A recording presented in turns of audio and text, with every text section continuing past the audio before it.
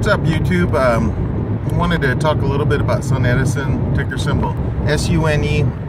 Uh, previously did a video, uh, kind of embarrassed myself um, when I referenced like the, their backstory and uh, how they came into be in 2012 time frame.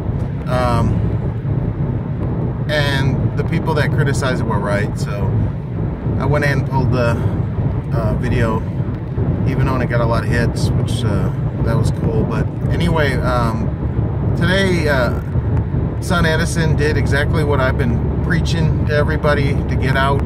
Uh, it dropped big time from two dollars all the way to a dollar forty-nine at the end of the trading session, then down to dollar thirty-nine, dollar forty, where it is right now. Um, why do I hate this company? Why do I care? Well, I've been investing for 44, so probably the last 25 years. Um, started out mutual funds and everything, and uh, I've witnessed the boom and bust, the, uh, the you know the dot com, uh, the sub mortgage, uh, subprime mortgage crisis. Um, CDOs and whatnot. Uh, I've seen a lot of companies, uh, uh, you know, uh, screw their investors, the retail investors like uh, MCI WorldCom, uh, Enron. Um, I remember when the telecons got destroyed and some of them didn't make it out, and some of them recovered. Um, but my point is, I'm not the know-all, do-all. Uh, I don't claim to be a genius. Uh, I only follow, follow certain things. Uh, so I'm not going to comment on like a pharmaceutical and where it is on their, you know, stage three uh, wonder drug or anything. But uh, I do pay attention to the energy sector. That's where I like to do all my research. And uh, when Sun dropped from like $34 to about the $12 point I was like, what's going on with this company? You know, it's a, it's a U.S. based company out of Missouri. What, what's what's the deal here? At that time, uh, I was invested in uh, Yingli, which was uh, at the time the biggest solar company in the world out of China. Uh, they were uh, undercutting everybody. They could make panels for cheaper than everybody, and and then the governments for various countries put up, uh, you know, these taxes uh, for importing their panels, you know, to slow them down. But uh, I was like, well, damn, you know, what, what's the deal? And um, as I followed solar more and, and, you know, was studying all the players in the field from Canadian Solar, which is Chinese, by the way, and, and all the way to First Solar, SunEdison, uh, who else is there? Uh, SolarCity, Trina, um, you know, everybody was hooting and hollering that the reason why these Chinese companies were falling behind against the U.S. companies because all the money is to be made in the downstream uh, markets, you know, the, the residential. And I'm like, well, I did a little investigating. Uh, actually, tried to find out how much it costs to get solar. And I remember I was quoted, um, this was about a year ago, year and a half ago, to be exact that it would cost me approximately $13,000 to get panels put on a house that's 2,000 square feet. And I'm like, well, how do they come up with these costs? Well, we're talking the cost of the panel panels themselves were about $700. But all that other cost was the installer. So I got to thinking, well, man, maybe solar's not the place to be as far as investment because it seemed like the only ones making money are the installers. And and then and then I realized too how, how are these companies thriving and, and, and booming well, especially in the U.S., uh, you got U.S. companies that took advantage of the, the government subsidies. And like I said in my previous video, that is now down. Uh, a lot of these companies, they would they would uh, underbid everybody else. They really didn't care about what the winning bid was. Like long term, is it profitable for them? They just want the bid so they could put it on their books that hey, look, this is the business we're generating this is uh, our future prospects. We're growing and growing. What no concern at all in the world for is this is this a wise play? You know. basically, I was like, man, I. It seems like a house of cards to me. Um, I, it got me to thinking some of the the U.S. Uh, solar companies were in big trouble because I noticed the trend was with the, their debt kept growing. Now, granted, not all of them, but uh, a majority of them, their debt kept growing, and their cash reserves were shrinking. But it was all about the hoopla of you know the potential. You know, uh, you know, oh, it'll pay off. You know, it'll it'll, it'll work itself out, and, and they'll be profitable.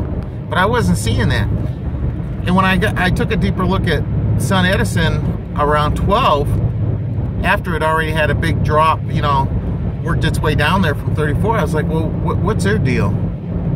Well, their deal was they created two yieldcos, and at the time it was kind of no novelty. There wasn't a whole lot of yieldcos out there at the time they started up. Uh, their two yieldcos, I think there was two others. But now there's more. And I'm thinking to myself, okay, if this is such a great thing, why why haven't other businesses used it? And I thought it benefited the partners, you know, the two companies or three, in this case, three companies, um, Terp and uh, GL, DL and, and Sun, where they can move assets, make it appear like, you know, they put, they can package up stuff, on transactions, put a bow on it, ship it over, and make each other look good. And to me, that's kind of like, let's say, uh, sport analogy here. You got an owner that owns two baseball teams in the same league. You don't think this creates an issue? And, and I'm not even saying they're not profitable. But let's just say, you know, you got one owner controlling two teams. Is that going to fly? That's not going to fly. Well, it kind of applies the same principle here. You got a company that's got two vehicles that they're, they're funneling money, funneling deals, funneling everything back and forth to prop themselves up. That was a big red flag. But the biggest red flag was like, uh, like I'd mentioned before previously. You know, it's okay for a company to not have uh, any profit in the beginning and a large uh, debt issue, as long as they're showing that they're reducing their debt going forward, going forward quarter quarter, and they um, their revenue is growing and they're reducing their debt. Well, if you look at Sun, that hasn't happened. They lose money every quarter since they've pretty much been in existence as SunEdison. Um, their cash reserves have dropped. Uh, they've extended themselves way out to where they're hemorrhaging, hemorrhaging the, their, their business model. And I think there's no recourse but for them to save the company is to go bankrupt. Now, I think that also the, the two yieldcos are in big trouble, but they need to hit the reset button. And that's the whole idea of bankruptcy, right? Reorganization, reset, and, and restart. Well, I tried to express this to many, many longs, and they never really gave any prudent uh, counter argument other than, I know it's going to go back up. Uh, uh, the charts, you know, this used to be a $34 a share company. Uh, it's got to go back up. It's got to bounce. I'm just waiting on the reversal. Um, it's too big to fail. Uh, they're too important to the future of solar. And, and all these are like fluff statements because you can't back up anything you're saying.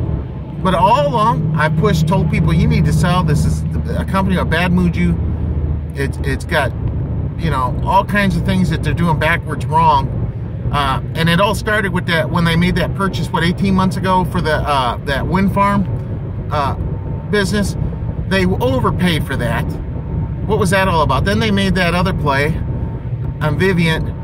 We're, we're willing to overpay for that and then got called on it and then they wanted to readjust because oh shit we can't afford it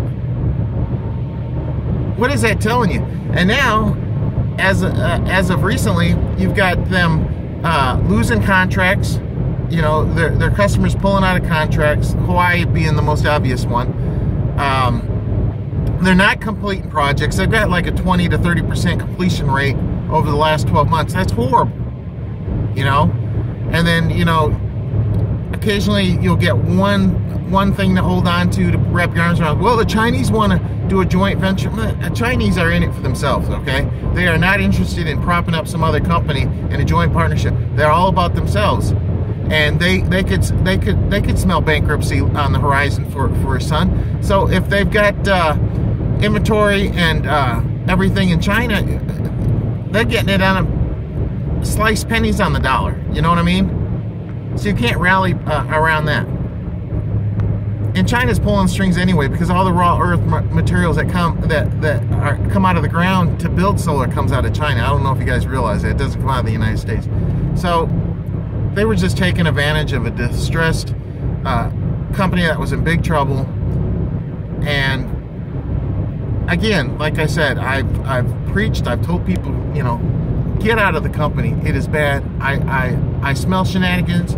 I see shenanigans. I call shenanigans. You know but everybody shot me down. They make fun of the way I look. They make fun of my wife. They make fun of, uh, you know, uh, what was behind me at my house uh, because uh, I sell statues and, and, and comics and sports and all that crap.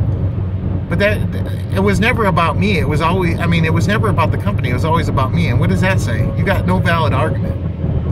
A lot of people lost money. Okay, a lot of people lost money. Not just today. Uh, not just last week, but this whole way. And, and I hope it is a lesson learned because greed's a bad thing, you know.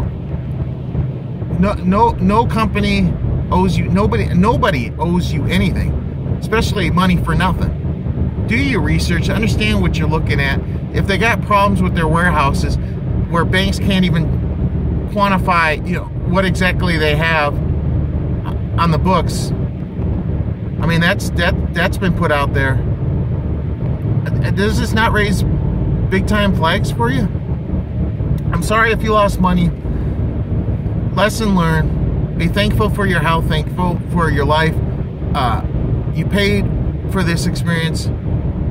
Hopefully you got out. I hope you did, and that was the whole point of me, uh, you know, railing against Sun. That maybe I would reach uh, a couple people and they'd protect themselves and their assets and their savings, and it wouldn't turn into a nightmare on them thanks for watching. I'm sorry this happened to you guys, but it, it, was it was a house of cards destined to fall. And if you couldn't see that, I don't know what to tell you. Is and now well, one other little tidbit. I'm reading on because uh, I I uh, post comments on uh, Seeking Alpha and uh, uh, StockTwits. The, the these supposed longs they don't give up. You know, another flag. How can you defend leadership that doesn't have your best interests, doesn't keep you uh, uh, uh, keep a dialogue going with its shareholders, and uh, comes up with the excuse of, of a computer uh, glitch. Do you really buy that? Do you not hold them accountable? But you got people on these sites saying, "Oh, I'm just playing the reversal." What what reversal, man? There ain't no reversal. The company is destined if, if the company wants to save itself, it's going bankrupt. That's my opinion. It's going to go bankrupt. I think the yieldcos are in trouble too. I don't know how this plays out with them. If they can salvage anything from Sun, if they're going to gut Sun, if they even have that type of leverage. Um, I promise you, uh, they're each out for themselves. Uh, I don't see Sun as a buyout candidate at all. You don't buy out a, com uh, a company that has way more debt than it does an asset in cash. You don't do that. You know, you take on some debt. You don't take a, a company that's hemorrhaging, bleeding debt on a daily basis. You don't. You don't. They they go to rest. They go to die. That's what Wall Street does. You know. So really think about what you guys post and look in the mirror and acknowledge do you really believe that the hype you're now? I granted some people uh, are going to post uh, garbage and fluff to try to get out of their position, but stop blaming, looking for excuse why you made a bad trade. Hold yourself accountable. That's another problem with today's society. Nobody wants to talk to anybody anymore. Everybody's got a text. Uh, they don't even know how to talk, uh, communicate with people, and and nobody holds themselves accountable. That's all I got. I'm not going to lecture you anymore. I just, I'm sorry you guys lost money. Those that got out, kudos to you. Um, it's just just a this was just a bad event in in, in stock history, and uh, they'll do studies on it like they did on Enron and MCI and and uh, subprime crisis. Thanks for watching. Later, bye.